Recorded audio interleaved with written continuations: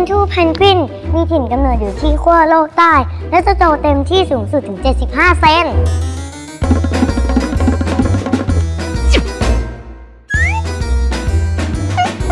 เป็นอะไรอะ เป็น Gentoo Penguin Ambassador ไง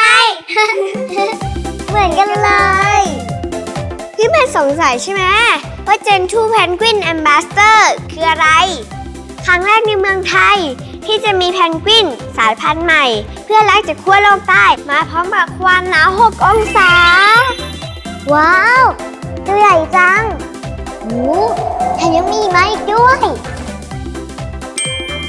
เพื่อนๆ คนไหนสนใจจะเข้าร่วมแก๊ง Gen 2 Penguin Ambassador กับเราเนี่ยนะคะ ก็ติดตามรายละเอียดได้ที่ Facebook สยาม Ocean World Cup นะคะ เพื่อเป็นสองคนเท่านั้น ที่จะมีโอกาสได้ใกล้ชิดกับแพนกวินตัวจริง และเป็นผู้ถ่ายทอดเรื่องราวของเพนกิน ในกิจกรรมประชาสัมพันธ์ของ Sea Life Bangkok Ocean World ด้วยนะคะ ใครคือคนที่ใช่ เรารออยู่